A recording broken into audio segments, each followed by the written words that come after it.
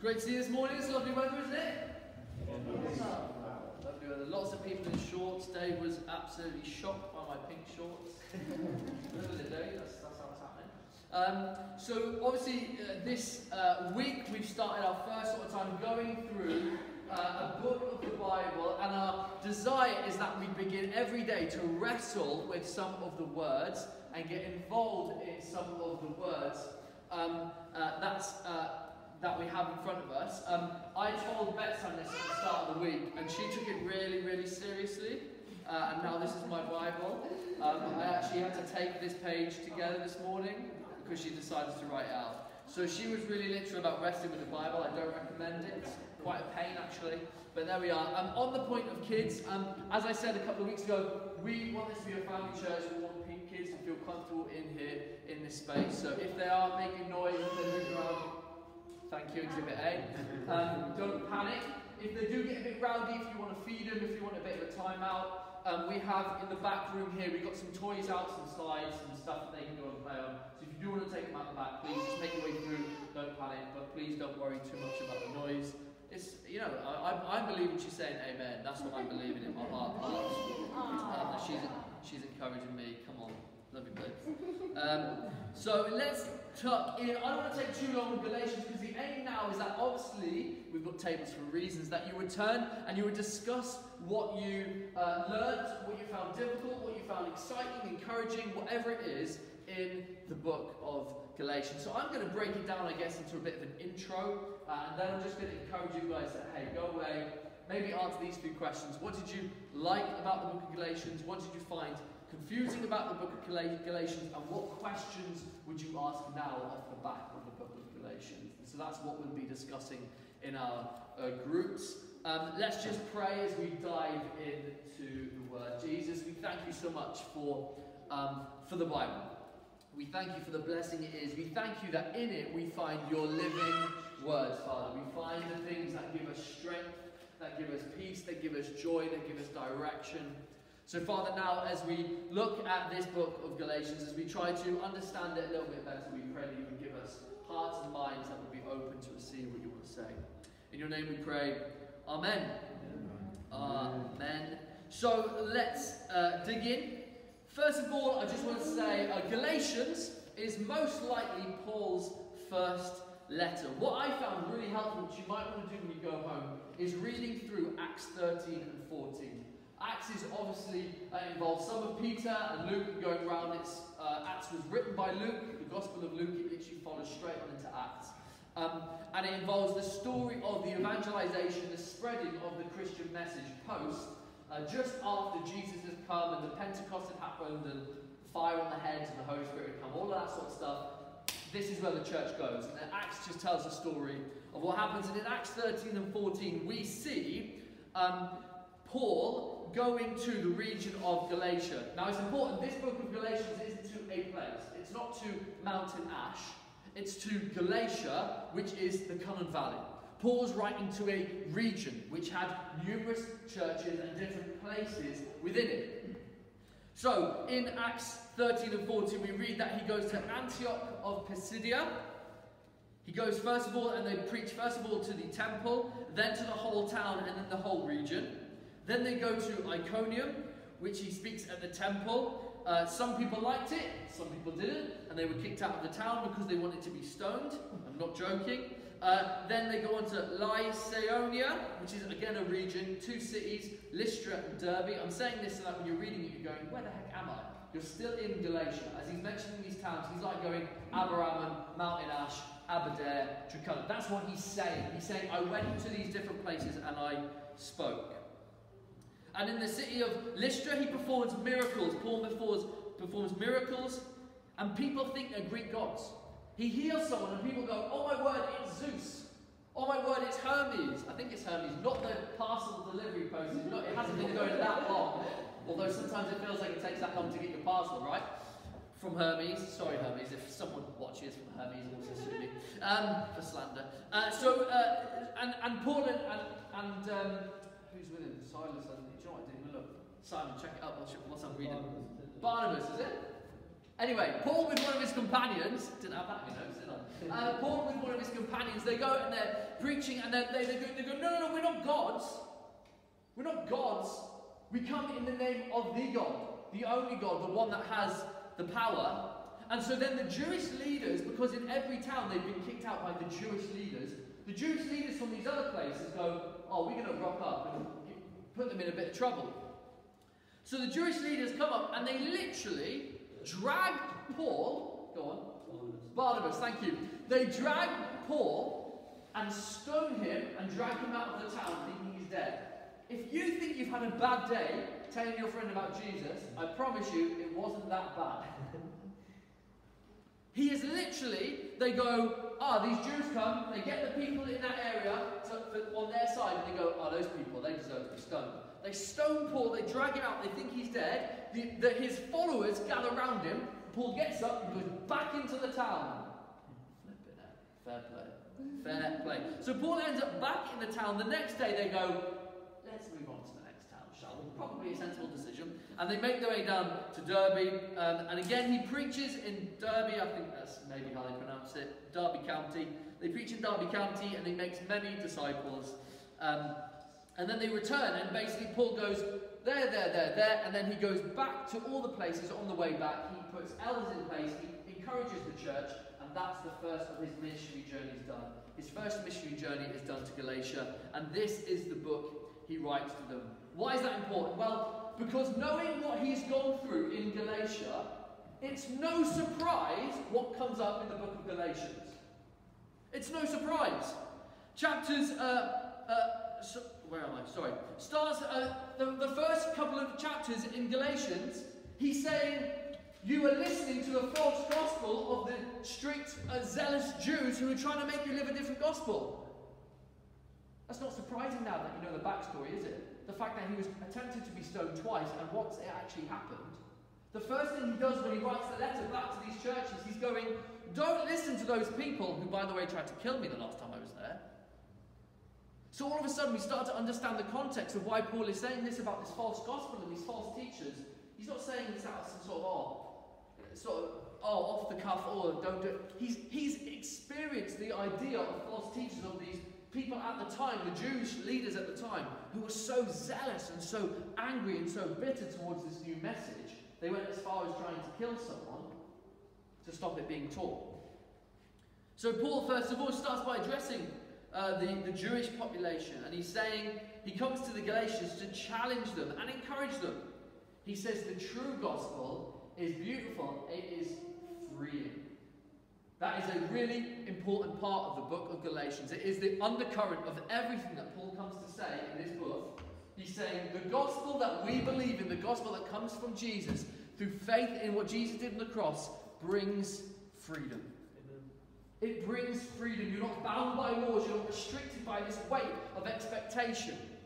It's not because of what you've done, it's because of what Jesus did. And that's what Paul is saying. But he starts, first of all, going, guys, that stuff that they're trying to teach you, it's a mess. It's not the gospel. It's oppressive. And it's not what Jesus came to teach. So then, secondly, he goes on to mention their identity in God. He goes on to, uh, to, to tell them that being a Christian is not second rate Judaism. Because at the time, the argument was this the Jews believed that they were the people of God and that the Gentiles were dirty sinners and that you couldn't just become a Jew because and you couldn't just step into the promise because God's promises to Abraham, Isaac, and Jacob, that was for them. That was their right. So can you imagine all of a sudden, people are saying, Well, I believe in this God of Israel and I believe in Jesus and I'm actually part of you. And these Jews are going, no, you're not. You're not one of us. You don't get our promises. You don't get that special stuff that God gave us. And so, what Paul says about their identity is that you have the same promises that God gave the Jews back then. He was basically speaking directly to the people who were getting angry at the Christians and going, listen, pal, they're one of you now. And can I say it's really important in terms of Jewish Christian relations now to understand that we have been grafted in. That's what Paul says in a different book. In a different book he writes. He says we've been grafted in to the promises of Israel. We receive the promises that God gave to Abraham. The promise that he would be their God and they would be their people. The promise that he would be with them and never forsake them. Those promises are promises to the Jewish people, to the Israelite people. And so what does Paul, how does Paul describe it? In a way that we can all understand. He says that you have been adopted. He says that you have been adopted into the family of God. He, Jesus doesn't just go, oh yeah, well, these are, these are my main people and these guys are like second rate. He says, no, you're part of the family. And that's our message. We're part of the family. When we read Galatians, we see someone so passionate for Christians to truly understand who they are. And we live in the same day today. We live in a way that, in, in, a, in a society where Christians don't know what they can say and they don't know who they are, they don't know the power they have and the freedom that they have. But Paul is saying, if you knew who you were, if you knew the promises that were spoken over your life, not because of who you are, not because of your title or your grandfather or your great, great, great, great, great grandfather, but because of Jesus. Because of Jesus, you've been adopted into the family. You don't miss out on the promises. You're not going to miss out on the things that they have. We're part of it and we receive these incredible promises. And because we are part of them, Paul points out, there should be unity because Jesus made a way for unity. There should be unity because Jesus made a way. That was his desire. Paul goes on, I think he's in another, another book, he says, There are Jews and Gentiles, but my Jesus' goal was to create one man out of the two people. Warring people. And we can, we can look at this and maybe go, okay, I don't quite understand why the Jewish people relate to me. It, this is where you find the beauty Testament. If you've ever read the Old Testament and thought, why does this matter? Jesus is alive, guys. It doesn't matter. The Old Testament is beautiful because it shows everything that we've been grafted into. It shows us our family history now.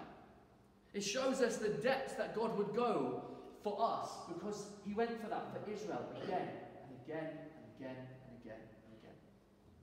He loves us so much.